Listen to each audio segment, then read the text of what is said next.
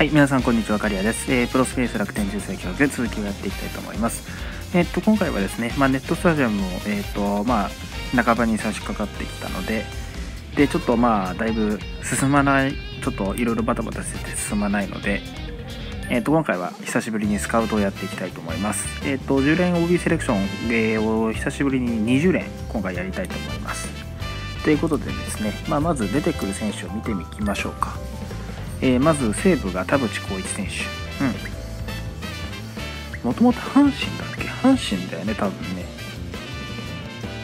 お、すごい。ホームランさ。ホームラン、うん。やっぱ長打力はすごいですね。で、えっ、と、ソフトバンクが、えー柴原選手。うんうん。で、楽天が永井選手。永井選手か。いいですね。あ、でも変化量も結構多い。で、えー、とロッテが初芝選手。うん。初芝選手はメガネのイメージしかないですね。まあ、現役時代はあんまり知らない、あんまりっていうか多分知らないんだけど、うん、生まれてはいるかな？ぐらい。んで、おお、武田勝選手。あ、武田選手は知ってる。ごいですよね。あ、でもやっぱコントロールがいいですね。うん。で、えっ、と、オリックス星野選手。星野選手はね、昔のタイムスリップの星野選手は持ってましたね。うん。あの、スローカーブですよね。そうそうそう。結構、球速がそんなに速くないんですけど、すごく使いやすかったイメージがありますね。で、えっ、と、巨人斉藤選手。うん、すごい。変化球は高速スライダーがあでも変化量多いですからいいですね。で、えー、斉藤昭夫選手。うん、なるほど。おあ、先発もできるんだ。へえ、いいですね。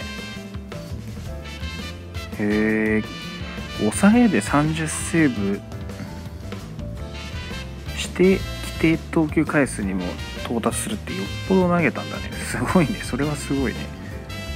はい。で、えー阪神掛布選手。うん。まあ言わずと知れた強打者ですよね。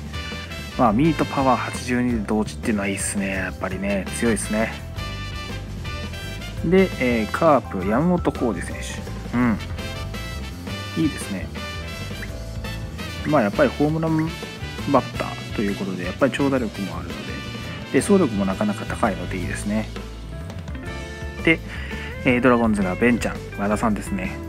いいね。和田さんは、うんと、2016年ぐらいのやつかなは持ってますけども、それ以来出てないので、欲しい選手の一人ではありますね。はい。で、池山選手、横ヤクルトですね。いや、えっと、池山選手もね、タイムスリップの S は持ってますね。うん、出てくれるといいなと思ったりはする。かな。はい。えーということで、まあ、今回、まあ、永井選手は、まあ、楽天純正オーダーを作る上で当然欲しい選手ではあるんですが、まあ、それ以外に、えーとまあ、斉藤選手だったりだとか、えーあとは山本浩二選手、和田選手、池山選手あたりは、えーゲットできるといいなと思ったりはしております。はい。ということでね、まあ、早速引いていきましょうか。20連。まあ、30連で、あの OB1 人確定っていうところまで行きたかったんですけど、残念ながらあのあれがないので、エナジーがないのでちょっと引けないですね。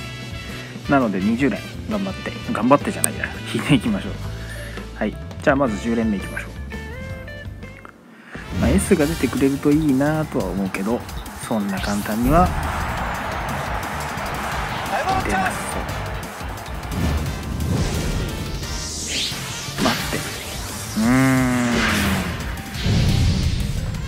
れない。えー、小島選手、山本選手、T 岡田選手、O 角中選手 A ですね。で、藤田選手、雄平選手、又吉選手、もや、おお、もや選手、で、長野選手、梅野選手。うん、OK。うーん、渋い。じゃあ20連目いきましょうか。A ランク以上1人確定ですけどまあ S ランクは出んかな。A ランクが多めに出てくれるだけでも十分ありがたいっちゃありがたいんだけどね。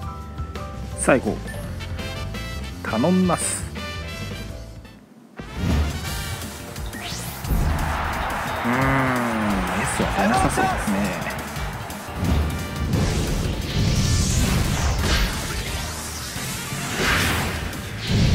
割れないね。えー、高谷選手、えー、池山選手、堂上直道選手、原口選手、磯村選手、堀内選手、三島選手、荻野選手、又吉選手、青木選手。待って。A ランク以上はいいんだけどさ、あれだよね、あの、なんだ。あの OB の映画1枚も出なかったんだけどそんなバカな。できれば1人ぐらいは OB のね映画出てほしかったですけどまあ出なかったのはしょうがない。はい。さあでこれでどれぐらいになったんだろうな。うん180%青木選手が入って多分100 200%ぐらいか。まあプラス200%になるのはまあいいところかな。まあ今週の金曜までなんで、うん、ちょっと頑張らんといかんですね。うん。よし。うん。ちなみにどれぐらいあといるんだ？まだだいぶいるね。1 1 0 1 0 0 1000万10万100万1000万ん？違う。110100100万、10万、100万、1000万。110101000万、10万、100万。あと800万。うん。頑張らんといかんな。あとでもエナジーが40個、60個。ああ、そうですねあ。もうちょっと頑張れば、でももう10引けたか。そうね。もうちょっと粘ってもよかったかもしれない。まあちょっと、今週ちょっとバタバタするんで、まあ、うん、そんな感じかな。OK。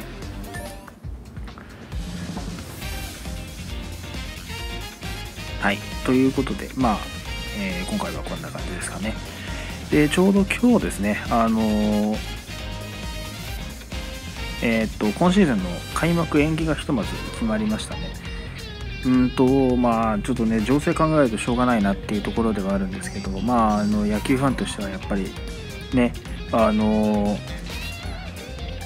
やっぱり開幕してほしかったなっていうのはありますし、あの昇竜伝のユニフォあのチケットも取っちゃって取ったので、まあ、それもねあってできればっていうのはありましたね。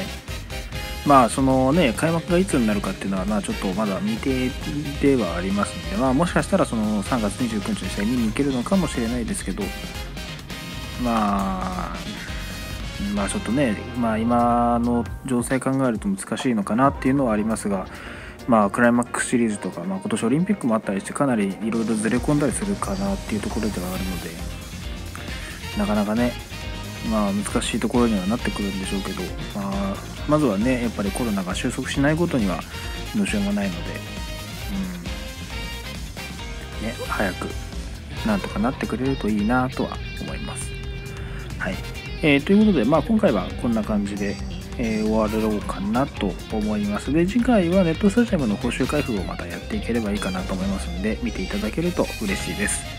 はい。まあ、いよいよ、まあ、開幕がちょっと延期になっちゃいましたけども、オープン戦もね、終わりに近づいてきて、ドラゴンズはあんまり打てずに、楽天はまあまあ調子が良くなってきたっていう感じですかね。